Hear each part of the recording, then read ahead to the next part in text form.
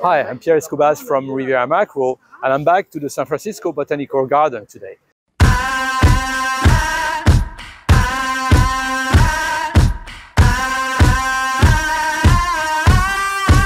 So let's get inside and see what we're gonna do today.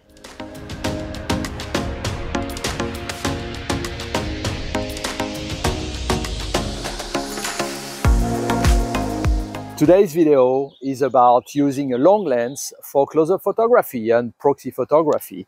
I'm going to show you how I use my 300 millimeter Nikon PF lens to take uh, pictures of flowers, insects, and uh, today, hopefully, hummingbirds too.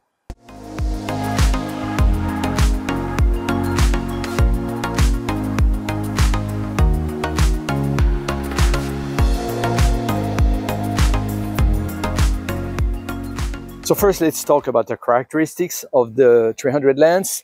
It's the Nikon 300 PF, uh, which means Fresnel lens, which means this lens is very light, very compact for a 300, very small, and coupled with the Z6, it's a tiny package. The minimum uh, focusing distance is about 1.4 meters, which uh, translates into about four feet, four to five feet. And actually the working distance between the front uh, element and the subject in this configuration is uh, 110 centimeters, which is about, I think, uh, three, three to four feet. At that setting, the magnification is 0.25 times, which makes it perfect for large subjects.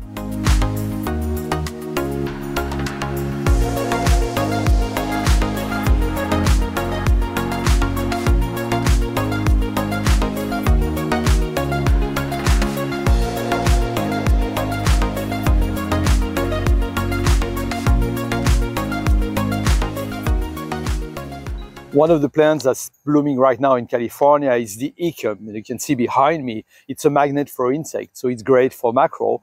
And I'm going to show you two things here on this side. I'm going to show you what kind of bokeh I get with this lens. Due to compression effect and the aperture of f4, I get very nice subject isolation and uh, the, um, uh, the bokeh is fantastic.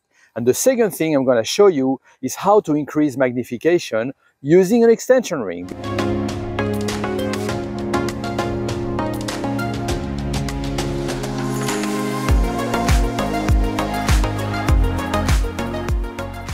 So the trick to increase magnification on a long lens and, and get to photograph smaller subjects is to use an extension ring. I use Kenko rings where they're the best, they're a Japanese brand, and I use the 36 millimeter, and that gives me a magnification probably close to 0.4, 0.5 times, which is good enough. It's not uh, really macro photography, but it's good enough for subjects like the ones I'm using today. So mission today is to find flowers, uh, insects, and hopefully some hummingbirds, which qualify as uh, almost as flying insects. So I'm going through the garden and show you how I use the lens and also what can be improved in terms of magnification. So let's go to another place.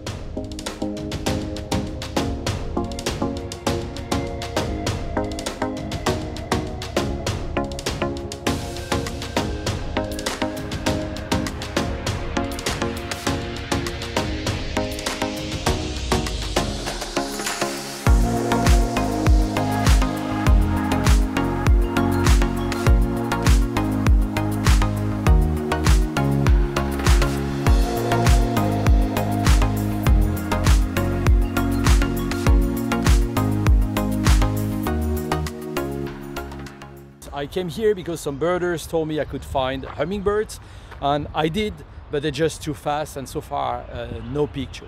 If you don't have enough reach, you can use a teleconverter. I have here a 1.7 times TC, which I uh, often couple with my 300 to give me a 510 millimeter uh, focal length. You keep the um, short working distance of the 300, but you have more reach and you can photograph very, very shy animals like dragonflies. And you can even pair that with the 36 millimeter extension ring, which gives you more magnification.